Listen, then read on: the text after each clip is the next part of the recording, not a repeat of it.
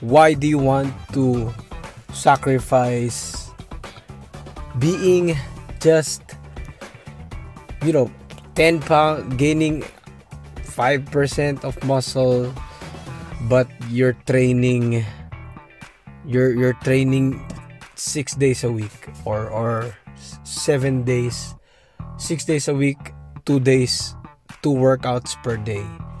Why are you doing that just to to gain 5% more muscle. And you're not even a competitor. So so why?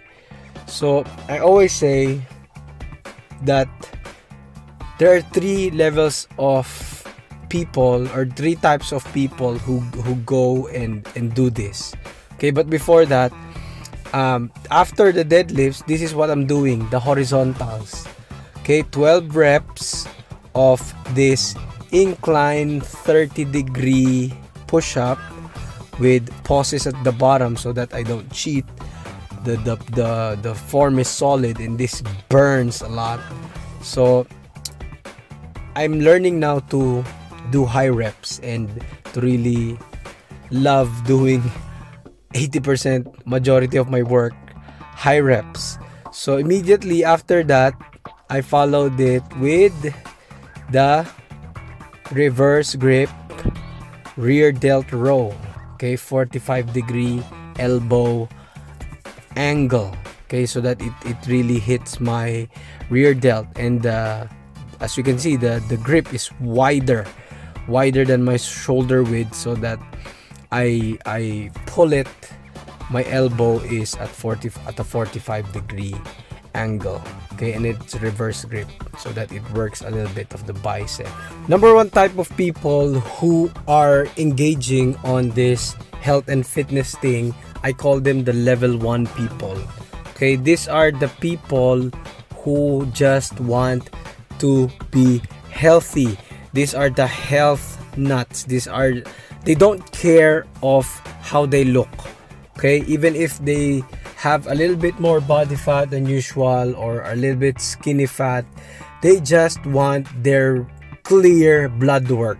You know they just want to be doctors approved. You know they just want to be diabetic free. They they want their medication out. Okay they don't care about muscle. They don't care about which is foolish you know because muscle equals health but we will get into that later. So they they just want to be healthy. They just they want to enjoy food they want to enjoy life they don't care how they look. They just want you know no sickness. I, my immune system is functioning well and i don't feel aches and pains on my back and they just want to be healthy in general. Okay? Number two type of people actually we're cooking right here. Before i i, I tell you that see that chef thingy? That chef skills. So we're cooking for my grandpa's birthday. There are a lot of birthdays on august. So number two type of people is the people that are the beach ready people. Okay? So these are the the men and women who wants to look beach lean. They don't want to be shredded. There's that's not their goal they want to get to look good naked okay? So they want the the the thin waist for men women also. They want the thick thick upper body for men balanced lower body for women. The hips is the most important for them. They want the shape in short okay but they don't want to be ultra ultra lean. Okay? They still want to enjoy food. They're busy. They they have life outside the gym. It's not their priority.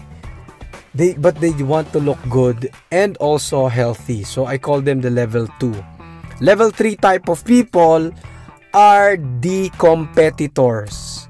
Okay? These are the all or nothing no pain no gain extreme like level 10 people okay? I call them level 3 okay? Level 1 level 2 level 3 these are the people who engage on this fitness thing. So what level are you okay? Comment down below. If you're level 1 you just want to be healthy don't care what you look how you look okay?